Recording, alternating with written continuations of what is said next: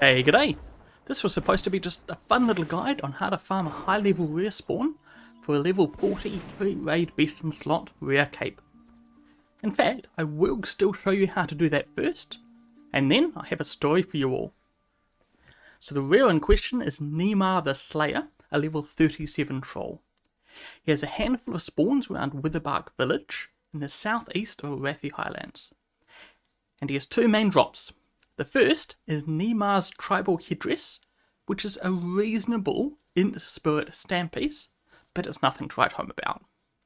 But then, Dark Hooded Cape with 10 agility and 4 strength is pre raid best in slot for at least rogues, hunters, and feral druids, and probably for warriors, enhancement shamans, and ret paladins also. It's a BOE, so you can also sell it for a pretty penny if you like. Nimar has a 5 to 8 hour respawn, so you could theoretically be getting him around 4 times a day, which makes this a very appealing farm. The best way I've found to check for him is to stand at Foobar's tree and eagle eye around the spawns with some sort of scanning add on. Either RareScanner or Unit Scan are good options. And this is Foobar's tree. It's nicely between two potential spawns. It's close to the road, and no mobs spawn too close as to aggro you here. So I eagle eye around, checking all of the huts. Then, when I find him, head on over and begin the kite. He will likely have a bunch of random other trolls around.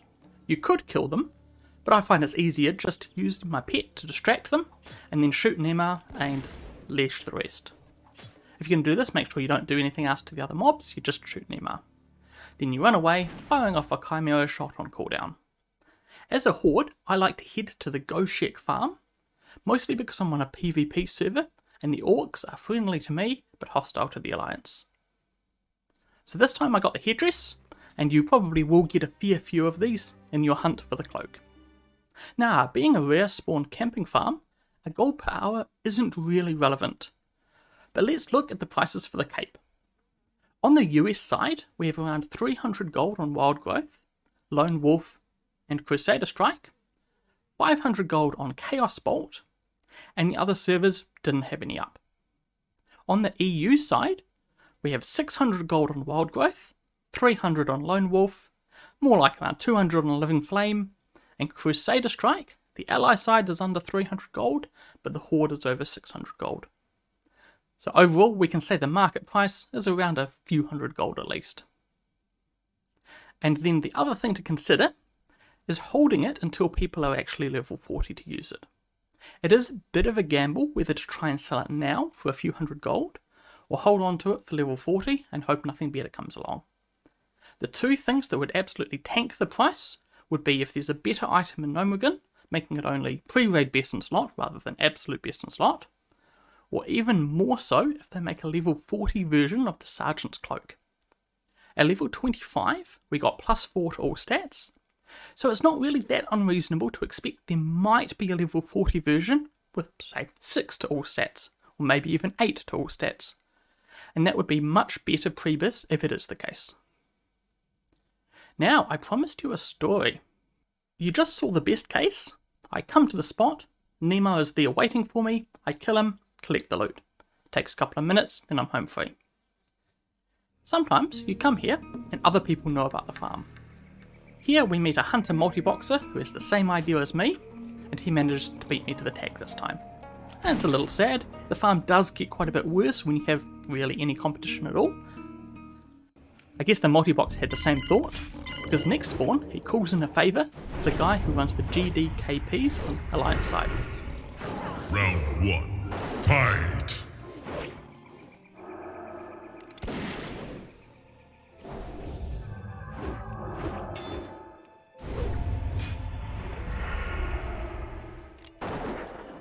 Now the thing about people who run GDKPs is they tend to have a lot of characters so that they can run many per week. Sometimes they even have those characters on separate accounts. So when I get jumped by an Alliance rogue, and I manage to narrowly kill him, I'm sure you can guess what happens next. Round 2, fight! How many accounts does this guy have? Oh, that many. Mr. TB, sir, I salute you.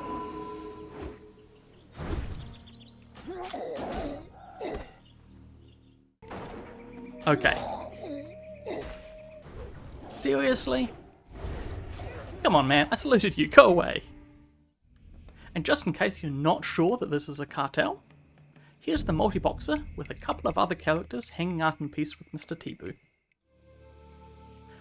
And here's the cartel going to kill a poor alliance who clearly didn't pay his protection fee. Now you might think I'd be salty having my nice farm monopolised by cross-faction collusion. Actually, couldn't be further from the truth. I think it's awesome. Like seriously, we're right at the end of phase 1 of Season of Discovery. Most people, they're just raid logging and they're waiting for phase 2 to launch.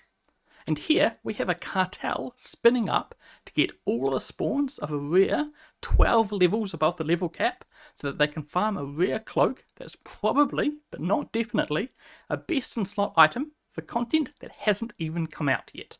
Mate, mate, you can have the capes. And so I'll leave you with this. If you're interested in this farm, have a quick look on your server if the troll is uncontested, it's almost certainly going to be the best gold farm possible right now. If there's already a cartel, hey, maybe organise some guildies and see if you can get some PvP happening. Or if you're on a PvE server, maybe you can steal some tags off them. But whatever the case, best of luck. And please subscribe before you go, it helps me a lot. But until next time, bye for now.